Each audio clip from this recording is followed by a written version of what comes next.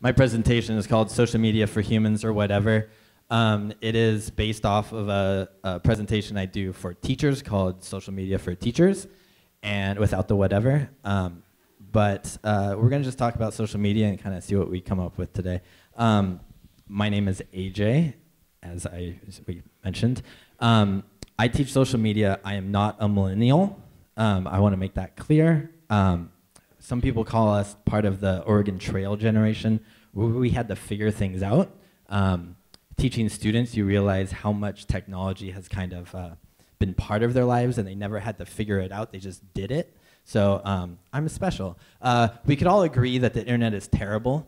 Uh, it's a bunch of racists, men's rights activists, uh, makes people antisocial, has predators of all types except for the cool one from that movie Predator. Um, it has lots of hate, trolls, lack of privacy, hackers, NSA, lots of stuff I don't understand, like half of Reddit and all of 4chan sucks. Um, Donald Trump, all that kind of cool stuff. But we could also agree that internet is amazing. It has email, instant communication, vast collections of data and knowledge, that dog face filter on Snapchat that's so cute, uh, global collaboration, videos of people getting hit in the nads, Pokemon Go, chocolate rain, think leaders, new revenue streams, jobs, jobs, jobs, social media and social networking, and convenience. So the internet is everything, right? Uh, but what we do need to realize is that social network is a system for communication. Like that's the whole point of it is to talk to somebody else. It's not about uh, posting pictures. It's not about um, Farmville, that's for old people, but um, it's all about talking to people. Sorry. Uh, it's all about communicating and being connected to people, which kind of seems the opposite of what we usually think of the internet. Uh, what's the difference between social networks and social media? Is the media is what you produce for a social network. A social network is a place. The media is the communication. Okay. Um, let's talk about Facebook versus Snapchat aka grandmas versus teens. Uh, there's an old guy up there liking everything, commenting on your post that you didn't really realize you were friends with him still. Um, but the point is, is that users are more important than the features. Uh, teens like Snapchat because their parents aren't there. The parents like Facebook because they feel like they're doing something cool. Um, social networks and social media, again, is communication. That's basically it.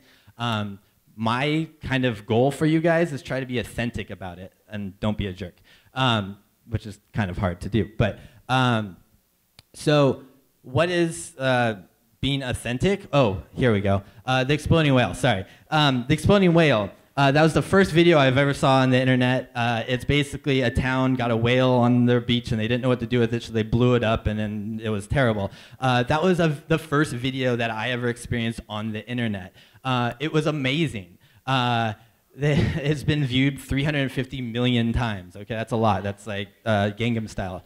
But this guy right here, this is Jukin Media. This is uh, Jonathan Skogmo.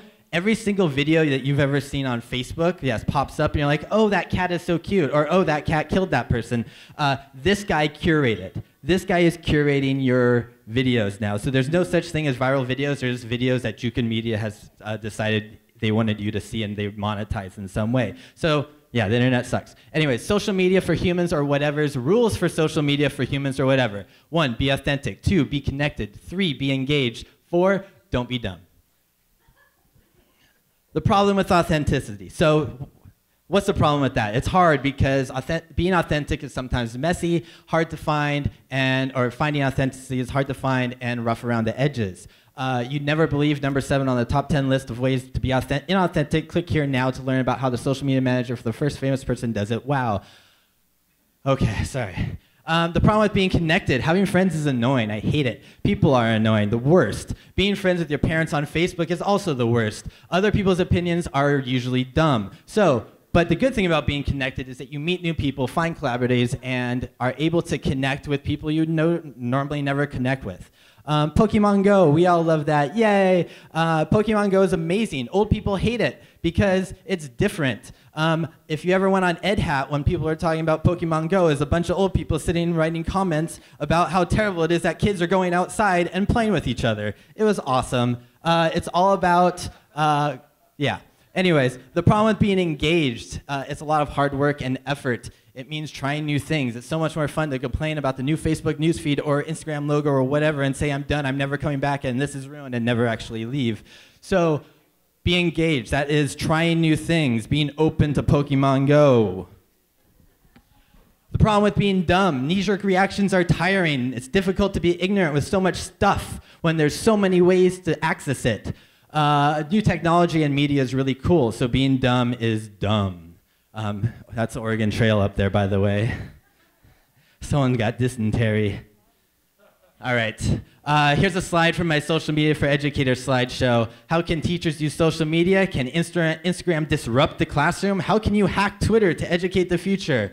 You can't, you probably shouldn't, and you don't need to. These, these things are here for us to, again, communicate with each other. It's not meant to change anything, it's just a furthering of communication that we've done for centuries and eons and eons or whatever. Learning about the internet is hella constant. The constant is it's always changing. The internet is also no longer capitalized. It is now the internet with a lowercase i. As a teacher, I have to redo my social media curriculum every single year, and that's annoying. A book about social media is probably wrong.